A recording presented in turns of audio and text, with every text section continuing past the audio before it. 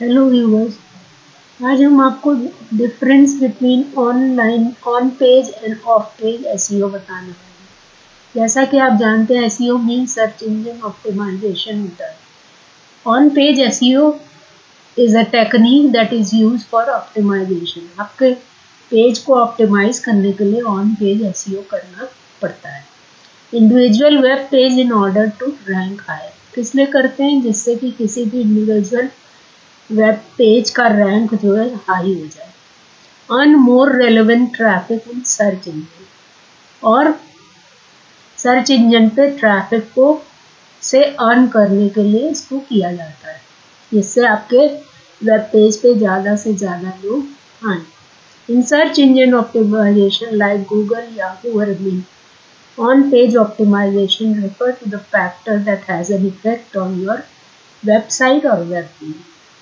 तो on page optimization जो होता है वो वेबसाइट और वेब पेज को इफ़ेक्ट करता है list in the natural search result और उनको नेचुरली लोग सर्च करें, उसमें उसको लिस्ट करता है। ऑफलाइन पेज ऐसी offline page optimization refer to the technique that can be use to improve the position of the website in a search engine result page search engine result page पे उसकी position को improve करने के लिए of page S किया जाता है।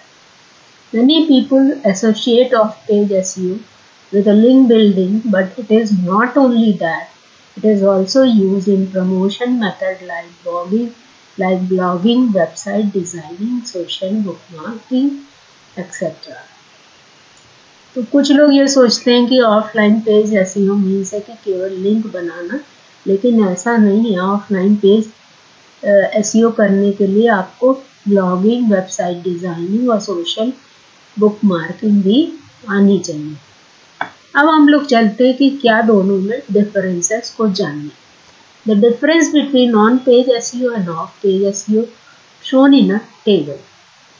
On page SEO includes providing good content, good keyword selection, putting keyword on correct places and giving appropriate title for every page.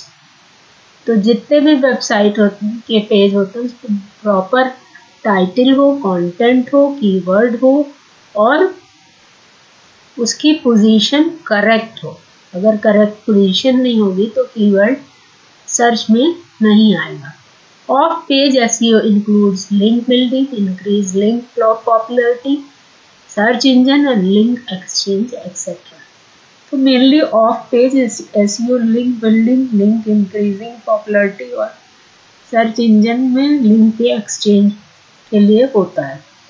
In on page S will analyze complete website in off page S we will promote the website दोनों में difference है। और online जो है, हम केवल analyse करने के लिए यूज़ करते हैं और ऑफलाइन जो होता है, वो हम प्रमोट करने के लिए यूज़ होता है, करते हैं। In off online page S we will use internal link in offline page S we will use direct link inter हमने आपको लिंक बना के बताया था कि वेब लिंक कैसे बनाते तो इंटरनल लिंक जो वेब पेज के अंदर लिंक्स बने होते हैं और डायरेक्ट लिंक जो होता है, वो आपका डायरेक्ट काम करता है। The technique which are use in on page S is publish high quality content optimize page title and meta description optimize page content heading and content formatting and uh, SEO images and other multimedia elements, URL optimization, internal linking and external linking अब external linking क्या होती है? जो back link होती है जो किसी दूसरे की वेबसाइट पर लिंक बनती है और वहाँ से आपके साइट पे लोग आते हैं। Technique which are use in off page S is influencer outreach contribute as a guest author, social media engagement, social bookmarking sites forum submission blog directory submission and article submission तो इतनी चीज़ें आपकी of page S में आती है जिसमें हम influencer जैसा काम के कितने तक पहुँचने का काम करते हैं।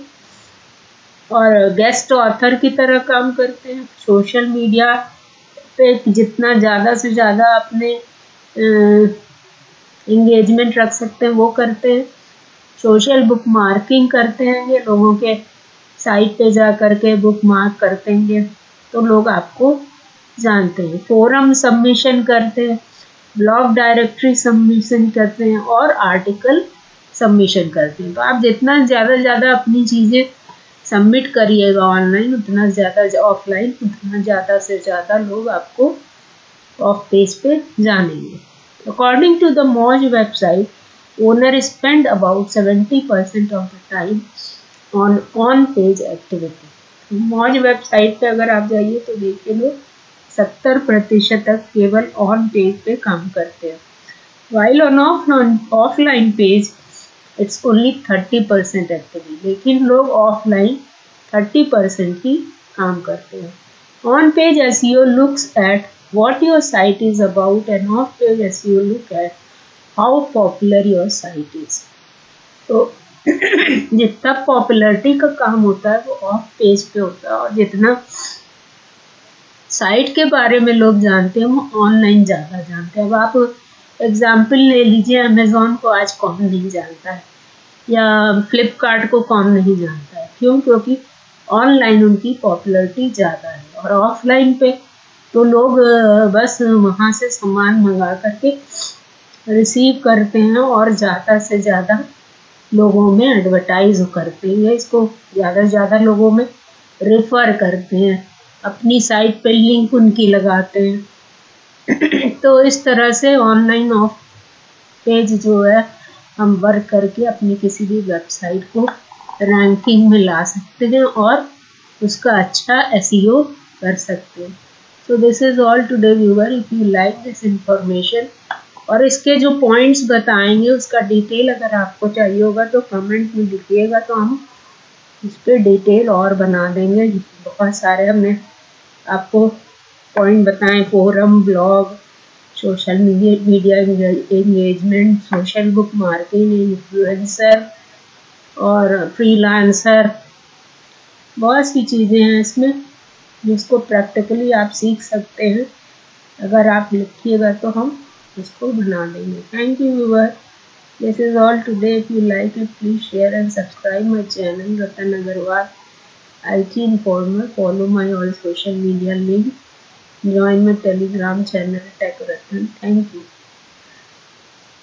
and please must comment and ask the question which you want जो भी क्वेश्चन आपको करना है जानना है वो आप कमेंट में लिखिए तो हम उस पर वीडियो बना देंगे थैंक यू